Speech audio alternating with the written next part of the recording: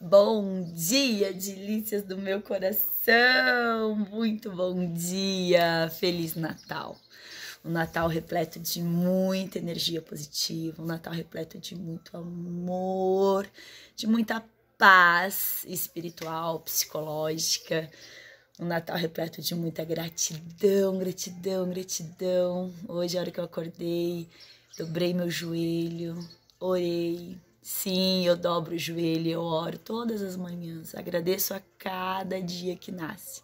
Agradeço a cada dia que eu finalizo e agradeço mais ainda a cada dia que nasce, porque cada novo dia é uma nova oportunidade. Uma nova oportunidade de vida, uma nova oportunidade de conquistas, de aprendizados e assim sucessivamente. E no dia de Natal, para mim é mais do que especial. Eu sou uma pessoa que eu não comemoro muito o Natal, de comemorar, comemorar, né? Ontem eu passei com a minha mãe, ontem à noite nós fomos comer pastel. Hoje eu vou almoçar com meu pai, vou comemorar com meu pai.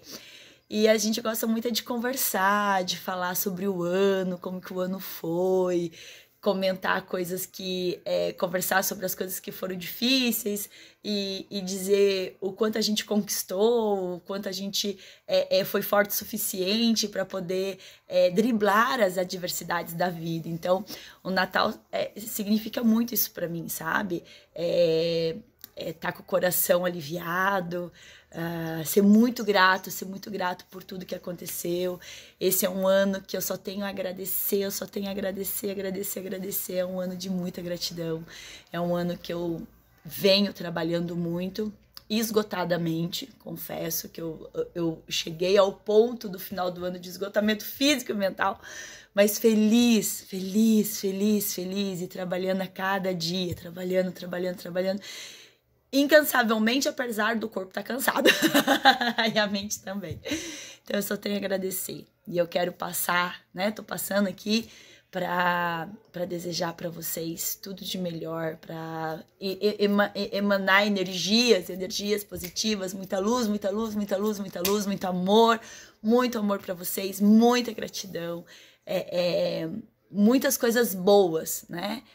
Aqui, nos próximos dias eu vou estar conversando mais com vocês, vou contar quais foram os meus feitos do ano, pra gente poder aí pisar é, com os dois pés em 2022, né? Essa história só do pé direito, não, eu quero pisar bem equilibrado, eu quero já pular para 2022 com os dois pezinhos juntos, assim, ó, equilibradíssima para 2022 ser um ano ainda mais abençoado do que 2021 foi apesar de todas as adversidades que a gente está enfrentando, porque a gente ainda está enfrentando, né? A gente ainda está no meio de uma pandemia, a gente ainda está no meio de incertezas, sem saber o que vai acontecer na próxima semana, no próximo mês, mas mesmo assim, sempre é, perseverantes na, nos objetivos, sempre esperançosos de que o, o, amanhã vai ser melhor, de que o próximo ano vai ser melhor e que Papai do Céu possa nos dar, nos conceder, nos permitir muita saúde, muita saúde, muita saúde, nos cubra com toda a sua saúde, com todo o seu manto sagrado,